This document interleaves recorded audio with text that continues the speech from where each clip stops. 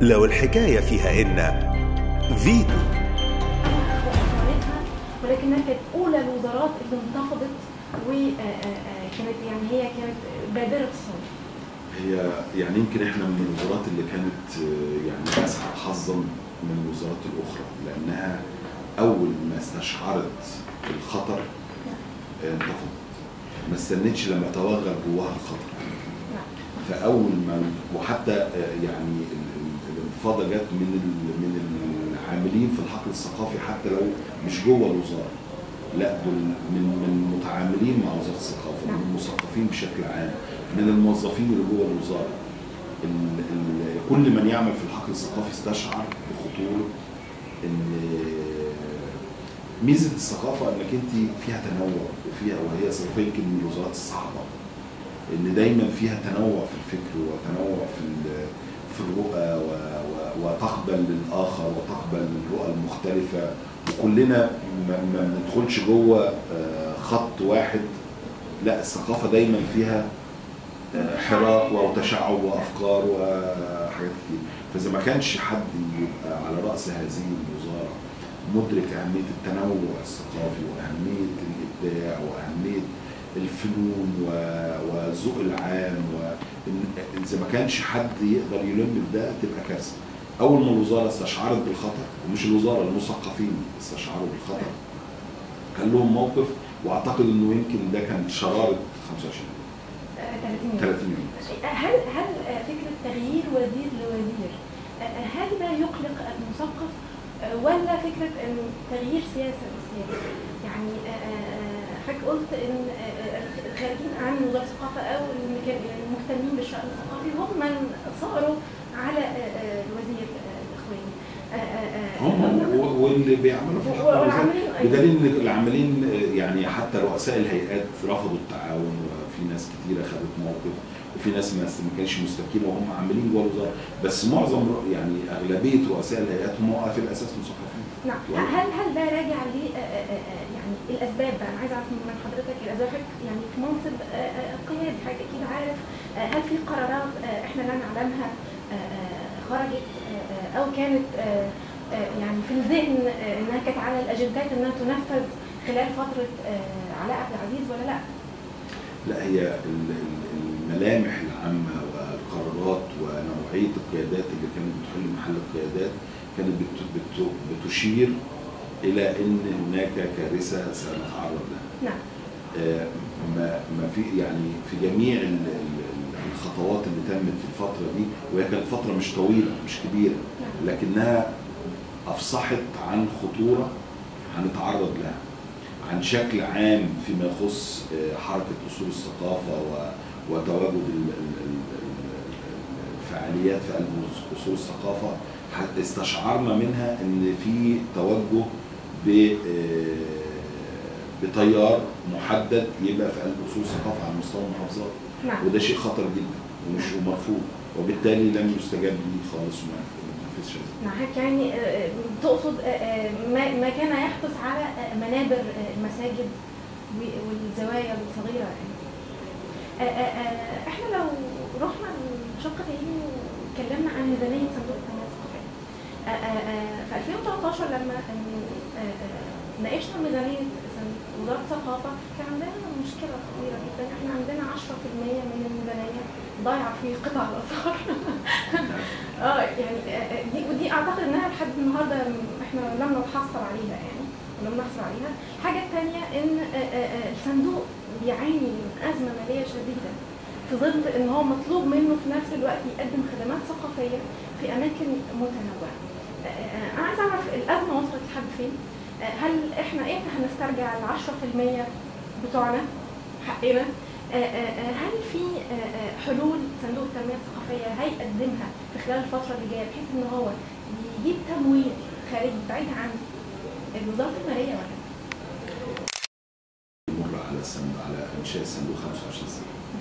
آه، الصندوق منشأ من سنة 89 و... وأنا أنا على المستوى الشخصي أنا سعيد إن أنا موجود فيه من على مدار عمري وشاركت فيه ودخلت وأنا مهندس. ثم تدرجت فيه على مدار عمري الوظيفي في أماكن كثيرة في الوزارة إذا كنت من مهندس لمدير إدارة هندسية إلى آه، مدير عام شؤون هندسية في الوزارة إلى مدير صندوق انقاذ آثار النوبة إلى مدير صندوق التنمية.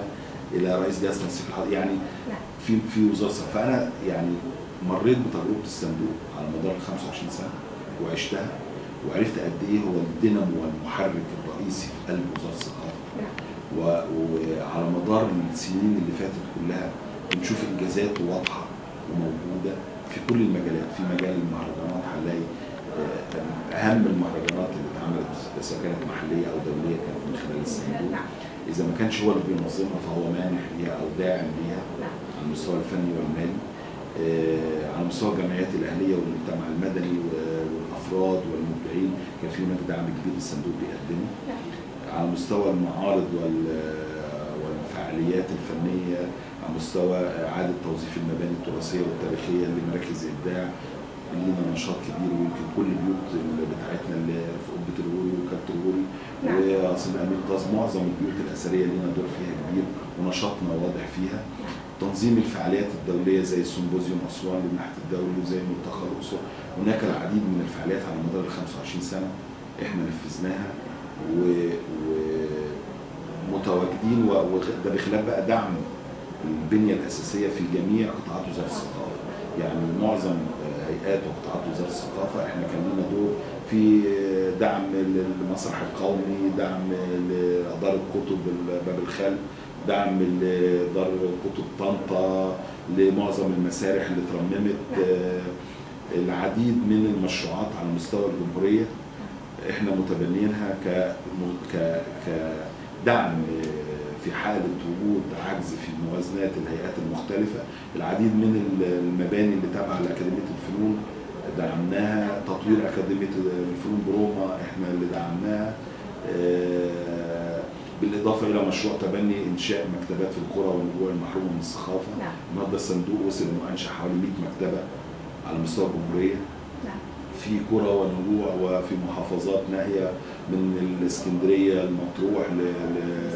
للصعيد مصر بجميع محافظات صعيد مصر آه، فبالاضافه إلى تسويق المنتجات الخاصة بمراكز الحرف التقليدية والحفاظ على الحرف التراثية فالصندوق متشعب في أدائه فيما يخص الدعم وتنفيذ الخطط الثقافية وإدارة المنشآت الثقافية زي عندنا بعض المراكز اللي تتبع للصندوق اللي بيديرها. موارد الصندوق الجزء الأكبر منها هي نسبة حصيلة ال 10% من موارد الآثار. نعم بالإضافة إلى حصيلة تسويق إصدارات المجلس الأعلى للثقافة من كتب وإصدارات نعم آه، وحصيل و50% من موارد المسارح اللي تابعة للبيت الفني المصري. نعم إحنا خدنا ال 10% ولا ما خدناش؟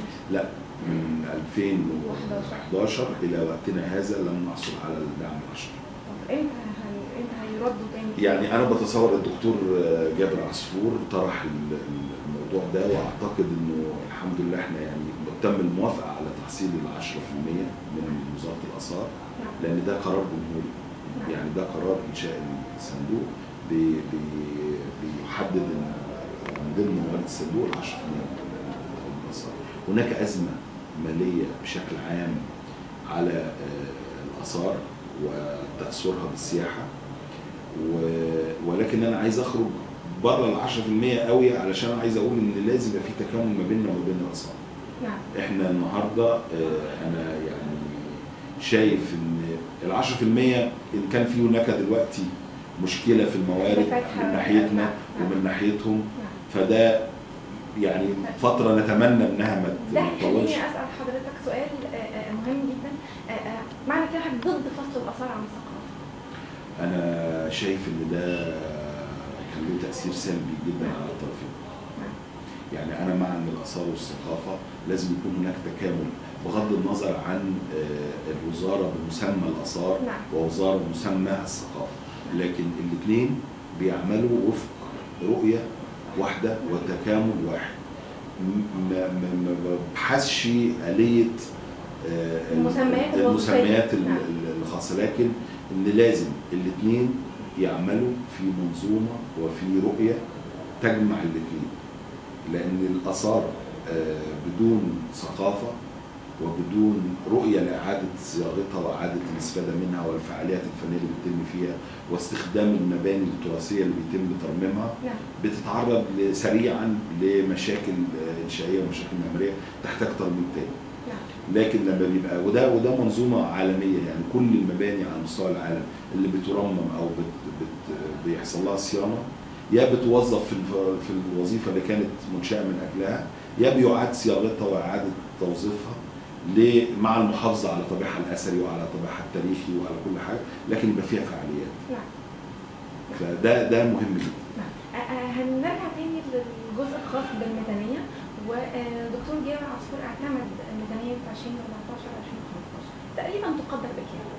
بالنسبة للصندوق؟ بالنسبة للسنة إحنا ميزانيه الصندوق آه، المفروض إن إحنا بنتحرك آه، السنة دي في آه، حوالي آه، 48 مليون. بكل ما الميزانية الاجماليه بتاعتنا هل ده رقم كافي لتغطية آه، كافة الأنشطة الثقافية بدءا من آه، آه، قرى قرى الصعيد؟ لا غير كافي لأن أنا عندي مشروعات already قائمة. نعم. آه، بنفذها بالفعل. نعم. ومنها مشروعات إيه؟ زي مشروع قصر تطوير قصر عائشه فهمي. نعم. قصر عائشه فهمي هو متحف الفن المعاصر ده موجود في قدام الماريوت بعد كوبري أبو العلا ده من أهم المباني التراثية. أنا عندي مجموعة من المكتبات اللي بنفذها في شمال سيناء وفي جنوب سيناء وفي أسوان وفي المنيا في العديد من المكتبات اللي بنفذها. آه، بالإضافة إلى إن أنا عليا التزامات تجاه ال- المهرجانات والفعاليات اللي أنا أنا يعني على سبيل المثال آه، سمبو- سيمبوزيوم أسوان للنحت الدولي النهارده هو بقاله يعني 19 دوره تمت. الدوره دي هتبقى الدوره ال 20 آه، على مدار ال 20 سنة ده بقى له ناتج فني. نحت معاصر رائع جدا. انشأنا له متحف مفتوح في أسوان. بننسق حاليا مع وزارة السياحة لإعادة وضعه على الخريطة السياحية. نعم. إن الناس لما تروح أسوان تشوف الآثار والنحت ال- القديم وتشوف النحت المعاصر للتجارب الفنية الجديدة. ده ده محتاج تكاليف ومحتاج موازنات علشان أنشئ هذا المتحف. عندي مجموعة من المباني كل المباني اللي أنا ب- بقدرها دي محتاجة صيانة وتشغيل و- ونشاط وفعاليات بتتم فيه نعم. عندي مركز طلعت حرب اللي, اللي موجود في منطقة السيده نفيسة. وده من من أهم المراكز الابداع النهارده اللي موجودة اللي بتعني بابداع